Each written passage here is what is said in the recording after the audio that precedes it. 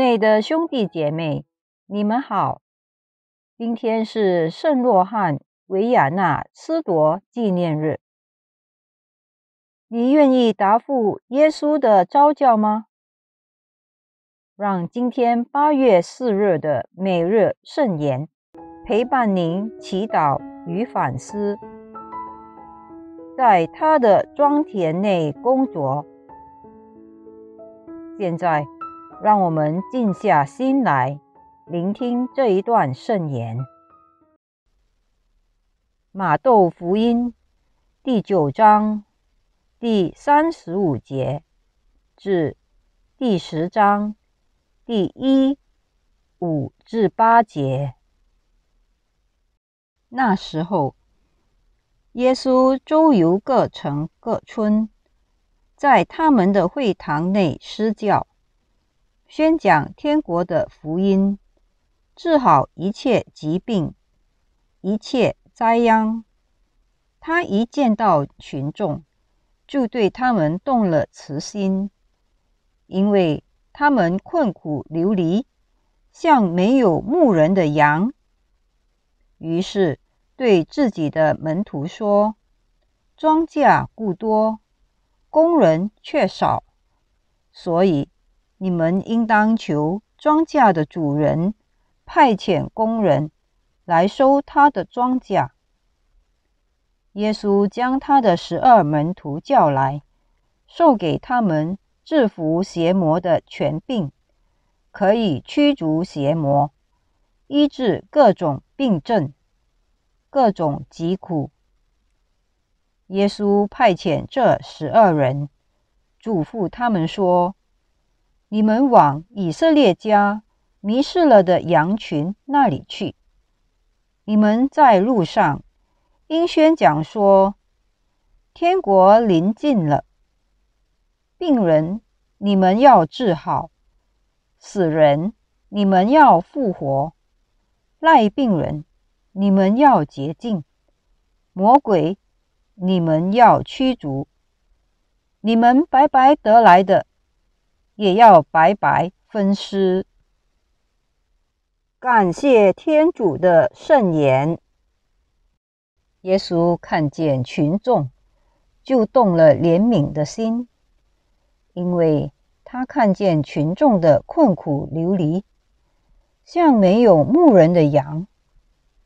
在今天的社会，身为基督徒的你，是否也看见？现代人的困苦流离呢？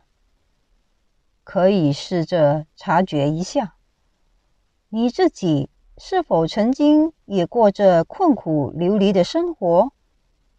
但是，什么契机让你开始转变生活状态，开始寻求耶稣，意识到信仰对你的重要性？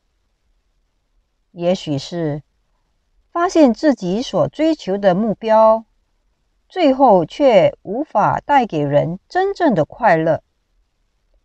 也许是处在非常竞争的环境下，人却无法按照良心的原则生活。种种因素造成人不快乐，失去健康的心，也失去天主创造我们。原初美好的样子。当我们还陷于这样困苦流离的状态，耶稣也对我们动了怜悯的心。他透过身边的人、事、物来吸引我们，引导我们认识生命的意义，认识他的价值观以及他的爱。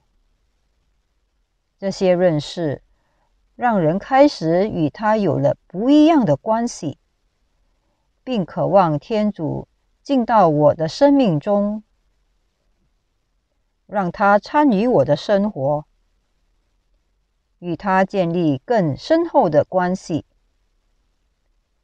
今天，耶稣仍然看见许多人因为不认识他而流离失所。许多人尚未听见福音的好消息，也不知道去哪里找生命的意义和永生。庄稼故多，工人却少。耶稣需要你和我参与他的工作，去牧养他迷失的羊。如果今天耶稣召叫你一同在庄田内工作，你愿意答复他吗？今天我们可以花时间和耶稣谈谈，求他让你看见自己所处的庄田有哪些需要，也打从心里真心的回应耶稣，告诉他你愿意怎么样回复这个需要。请品尝圣言。他一见到群众，就对他们动了慈心，因为他们困苦流离，像没有牧人的羊。也在我们的生活中活出圣言。你身边哪里缺乏平安和希望？你可以怎样的把耶稣的平安和希望？带到这地方。最后，让我们全心祈祷：主，我在这里，求你派遣我，我愿意成为你的工人，与你一同收割庄稼。这每日圣言祈祷的内容，取自于台湾主言传教会。愿天主降福你，也愿我们参与他的工作，去牧养他迷失的羊。我们明天再见。